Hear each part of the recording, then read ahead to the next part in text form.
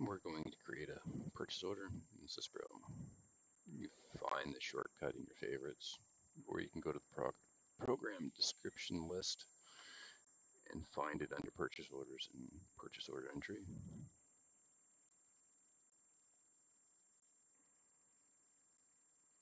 You need to enter a supplier. If you do not know the code, you can always hit magnifying glass and search for one.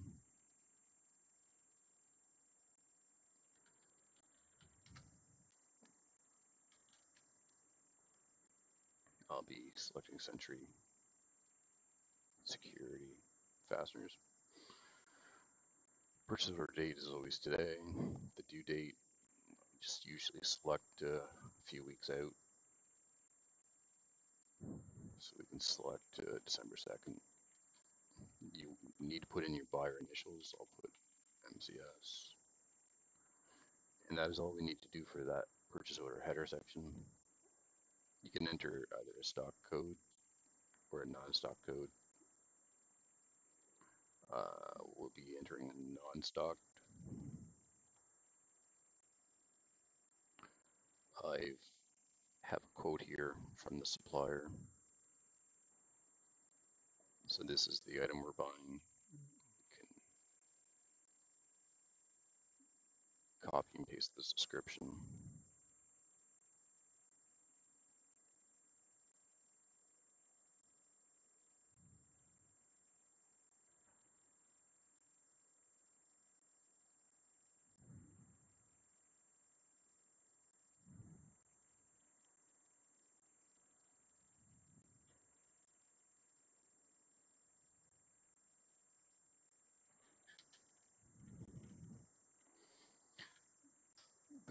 The order and I'm gonna match what I got a quote for.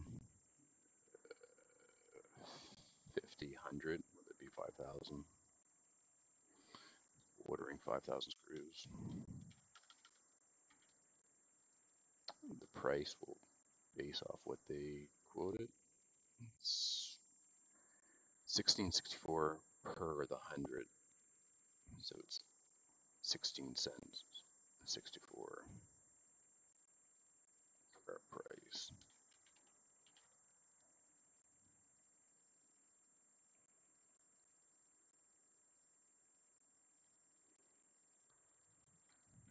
When using a non-stock item, you need to charge it to a job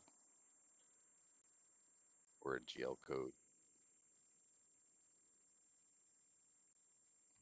We will charge it to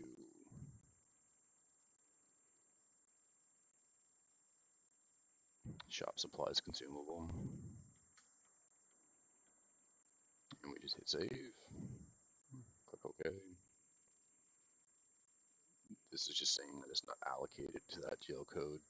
And if you want to change that, just hit no. So up here, purchase order totals, we can see the value is 832, which matches our quote. So we're good to click end purchase order and print the document.